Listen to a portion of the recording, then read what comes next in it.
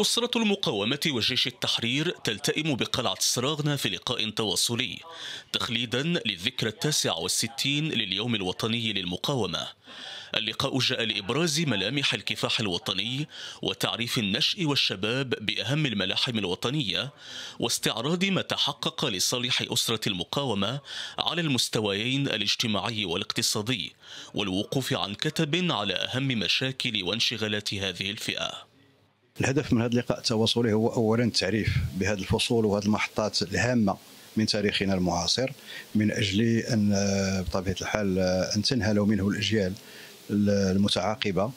اللقاء استعرض أيضا شذرات من تاريخ المقاومة بمجال قلعة سراغنة التي أبلى أبناؤها البلاء الحسن منذ أن وطأت أقدام المستعمر أرض المدينة في معارك عديدة كانت أبرزها معركة سيدي بوعثمان التي يتذكر تفاصيلها جيدا من عايشوها.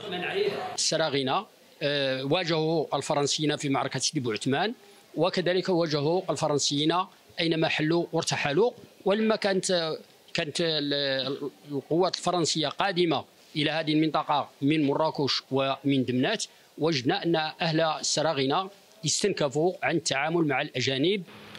وقد تميز هذا اللقاء التواصلي بتقديم إعانات مالية لقدماء المقاومين وأعضاء جيش التحرير وأراملهم.